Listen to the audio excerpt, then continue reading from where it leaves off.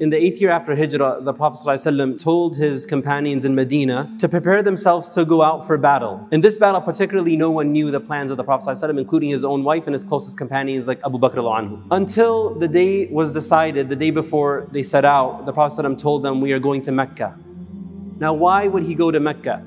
There was a treaty in place between the Quraysh and the Muslims, known as the Treaty of Hudaybiyah. But what happened was, one of the tribes allied with the Quraysh. They went to the Quraysh and said, We want to attack this tribe allied to the Muslims. Both live on the outskirts of Mecca. And the Quraysh gave their approval, anticipating that it'll be a raid at night, stealing some camels and horses and the like and whatnot. Nothing too intense, no loss of life. No one will know, just a typical raid that happens. And so Banu Bakr, the tribe allied of Quraysh, goes ahead and attacks Banu Khuza'a. But when they did so, it didn't go as planned. The woman and the children were alerted, people woke up, and then they defended themselves. And what ended up happening is over 20, including women and children, were killed from Banu Khuza'a. And it was a break of the treaty. Even one of Banu Khuza'a escaped and fled into Mecca and went into the boundaries of the Haram. And within the Haram, you cannot be attacked. It's a sanctified place. Yet he was killed within the boundaries of the Haram, which is a big no-no. So a massive mistake upon a massive mistake, and news reaches the Prophet ﷺ after their leader comes to him with 40 from his tribe, and they recite lines of poetry poetry explaining what happened and how their tribe was attacked in the night and they were killed while they were praying and the like.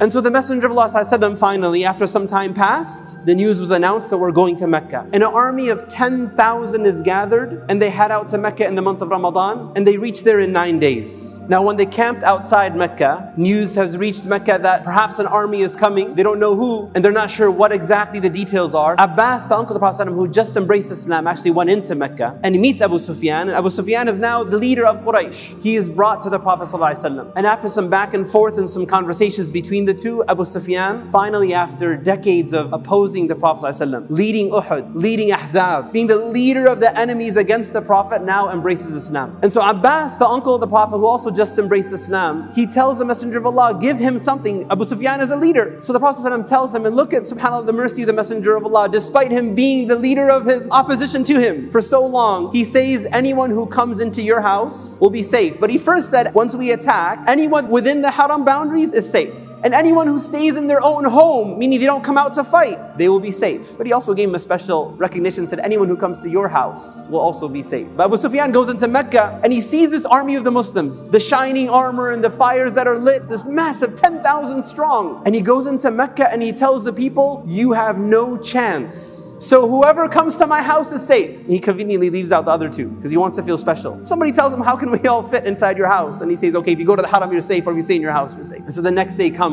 and the Prophet ﷺ, he divides the army into three, and one comes in from the east, one comes in from the west, and he ﷺ from the middle. They enter into Mecca. And for the most part, the people of Quraysh knew that there was nothing they can do, and they stayed within their homes. A few tried to fight back and were handled. And the Prophet ﷺ gave very clear instructions do not kill anyone, do not hurt anyone, unless you are forced to do so. An army coming in in after eight years of battle, and prior to the eight years, 13 years of difficulty and torture and abuse and neglect and abductions and being driven out of their homes, all of that. And the Messenger of Allah now catching them by surprise says, Do not harm anyone. And so he comes into Mecca He was wearing a red turban, وسلم, and his head was lowered. The narrations say that his beard was almost touching the hump of the camel he was riding. Humble. And the first thing he does is he goes to the Kaaba and he begins performing tawaf on his camel around the house of Allah subhanahu wa ta'ala. And he takes his stick and he points to the idols and he says, جاء الحق وزهق الباطل إن الباطل كان زهوقا. Truth has been established and the falsehood has vanished. For indeed, falsehood is something that will not last. And with each time he's pointing to the idol, idol, the idols are coming down, and there are over 300 idols around the Kaaba. And the Quraysh, the people of Mecca, they know if you're within the haram, you're safe. And so people start coming into the haram and witnessing what they're seeing. The Messenger of Allah, the one who they knew as a Sadiq al Amin, the truthful and the trustworthy, the one who they would turn to when they had issues, disputes amongst themselves, the one who his own enemies would know that they'll get their trust back. Even when he made hijrah, he left Ali in his bed to give them the trust back. They're seeing him with their own eyes now. Many of them fought him on the battlefield, and now they're seeing him going around the Kaaba, knocking down the idols. And then once he did so, he went inside the Kaaba and he purified the Kaaba as well from the idols. And then he comes out, and now the haram is full. Everybody's there. And he comes outside of the door of the Kaaba and he addresses the thousands who are now waiting and listening, and he says, La ilaha illallah wahda, sadaqa wa'da, wa nasara abda, wa hazama al-ahzaba wahda, la ilaha illallah. There is absolutely no one worthy of worship but Allah subhanahu wa ta'ala. He is one. He fulfilled his promise. He gave victory to his slave. And he defeated the Confederates. There is no God worthy worship but Allah subhanahu wa ta'ala. And then he says, every matter of jahiliyyah is abolished except for two, sadana and siqaya. Sadana is those who will bear the keys of the Kaaba, stayed in Bani Abd Dar, and siqaya and providing water to the pilgrims who come for Hajj. Those are two practices that will stay. Everything else has been abolished. And then he goes on to say, and all the arrogance of jahiliyyah has been abolished, meaning the tribalism and the ties based on tribe and not on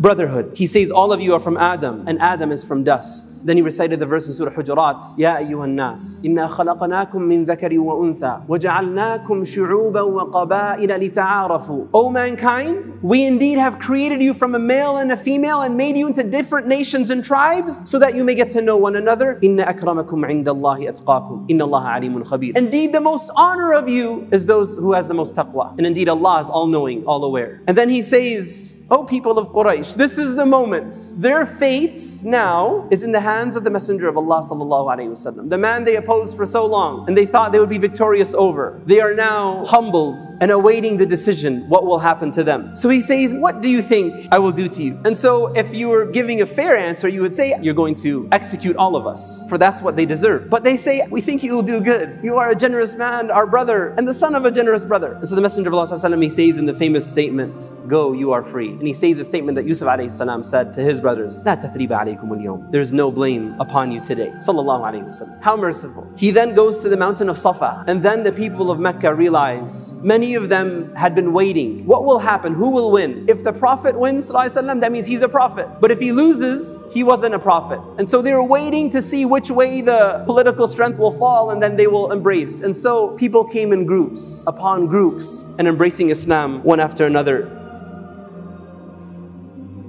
And so when we attain success, when we have moments of happiness, the day of our marriage, the day of Eid, how do we celebrate Eid? We gather in the masjid and we recite takbirat. We make dhikr of Allah, we praise Allah. But if we fall into the same trap that our society around us has fallen into, of celebrating success with sin, then we have failed. How do people celebrate? By sinning. How do we celebrate? On our wedding day, do we throw out the norms of Islam has taught us? We throw out the dress code and we throw out the interactions and we throw out the, it's just one day. But then the pictures live on and maybe on social media and the like. How do we celebrate our days of Eid? How do we celebrate private successes in our lives when we're promoted in a job or we get into medical school or we get into whatever we're looking to? Do we humble ourselves? And do we praise Allah subhanahu wa ta'ala? Do we acknowledge وَمَا تَوْفِيقِي إِلَّا بِاللَّهِ That everything I have is from Allah and whatever I've been given is from Allah. It's not from your efforts. Your effort played a role, but it's Allah who gives. You may have studied less than your friend or your classmate, but the rizq of Allah is as He decides. Allah says in Surah Hadid, فَسَبِّحْ بِحَمْدِ رَبِّكَ وَاسْتَغْفِرْ Whatever befalls you, whether good or bad, know that's from Allah. في كتاب من قبل أن نبرأها إن ذلك على الله يسير لكي لا تأسوا على ما فاتكم ولا تفرحوا بما آتاكم So you don't become too sad if you miss something that you were searching so much for, nor become too happy when you get something that you are given. You keep level-headed, always keep humble, always praising Allah subhanahu wa ta'ala and acknowledge that success only comes from Allah. We ask Allah for tawfiq.